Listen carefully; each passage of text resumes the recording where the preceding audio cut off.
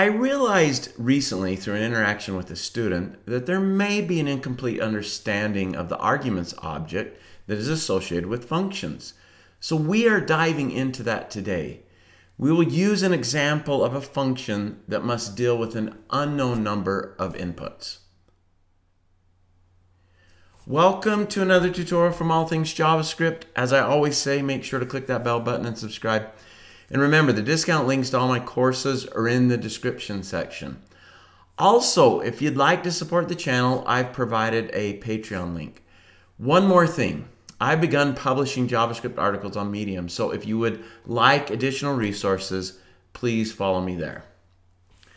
All right, so every function created in JavaScript has access to an arguments object that contains all the values of the arguments passed into that function. Though not used in every function, this feature can be invaluable for certain applications. Now, the arguments object is array-like, but it is not an array. That is the most important distinction. So let's take a look at that first. So let me first set up a function. I'm going to call it sum everything because eventually that's what we're going to have it do. Anything passed in, it doesn't matter how many numbers, it's going to sum them all. But initially, all I want to do, so I'm just going to log to the console, arguments. This is how we access the arguments object inside of a function with the keyword arguments. All right, now let's go ahead and call that. Uh, let's see, we'll just pass in 6, like that. Up to 6. Okay, so here is our function. We're going to log out the arguments object so we can take a look at it. So let's go ahead and do that. Refresh that and open the console. And here's our arguments object. If we open it up, it does look array-like. It looks like it is an array the way it's indexed here. Notice we also have a length property, and that's something that we see in an array as well. So how do we know that this is not an array? Well, let me just make a, an adjustment here. If I come up here and I do pop, obviously a method on arrays for popping off the last object in the array. If I refresh that, we get this error message that pop is not a function. So that right there is a key that this is not an array. However, we can address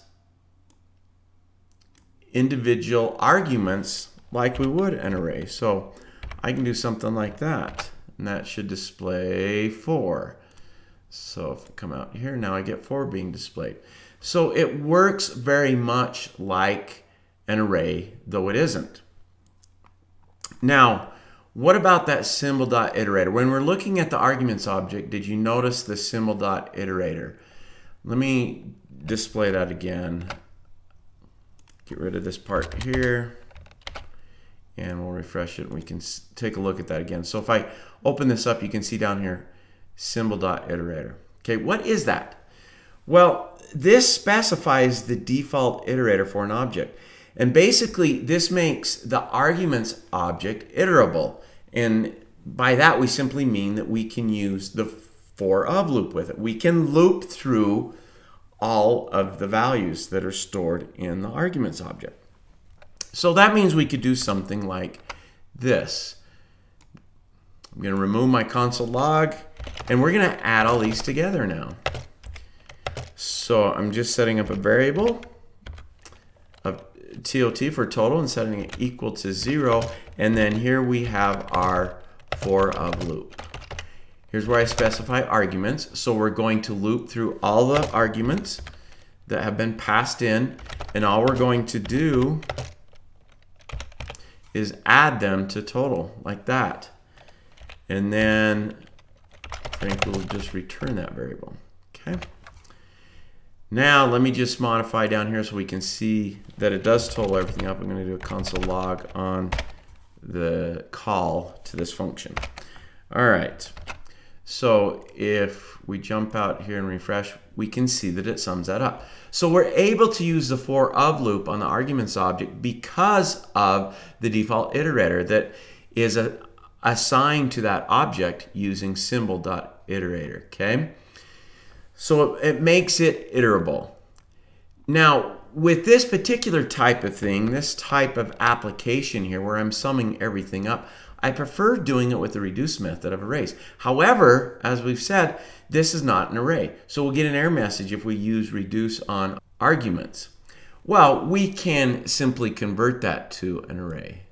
That's something we can do. So what I'm going to do is going to copy this. I'm going to comment this one out. And we're going to do this again, the same function. We're just going to do again. But this time I will use reduce method. And the way I'm going to do that is I'm going to use the array dot from static method on arguments. And that will convert arguments to an array. Basically, array dot from creates an array from whatever's passed in. And so it's going to create array out of that. So now that we have an array, I can use the reduce method like that. Now with the reduce method, we have to pass in a callback function. And that callback function has at least two parameters. It can have more than that, but it must have at least. One is accumulator value. This is basically the total. It's equal to what I did up here.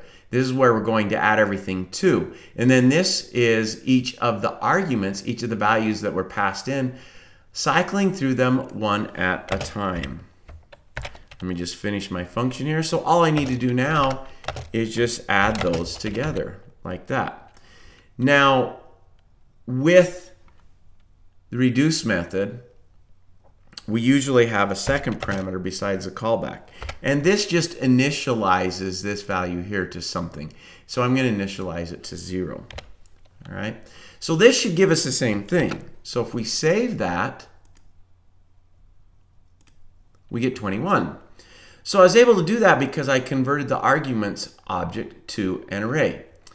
Now, one more thing. If you look up the arguments object in the MDN docs, it has a little note that says the rest parameter should be preferred. Now, what does that mean? Well, basically what it's saying is you should use the rest operator instead of the arguments object. So I want to show that really quick because that even simplifies this more. So once again, I'm going to copy and redo this. So when it says use the rest, well, we're what we're going to do here is use the rest operator up here, and we're going to combine everything that's passed in. That's what this is doing. Bring everything that's passed in, all these numbers that are passed in, into an array. And that's what we're going to call it. That's what that's a variable that's going to store it. Okay. So now we can simply replace all of this with ARR. Whoops. Because that is now all of the arguments in an array. So we didn't have to convert them. And as noted in the MDN docs, this is actually the preferred way of doing this.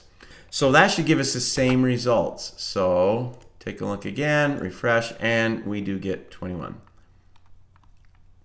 So there you go, an in-depth discussion of the arguments object, plus what we can do with it and a preferred method for dealing with those arguments. In more modern JavaScript code, that REST operator is a preferred method. All right, if you are looking for more JavaScript content, remember the discount links to all my courses in the description section. I've got a brand new course that is getting great reviews you may want to check out.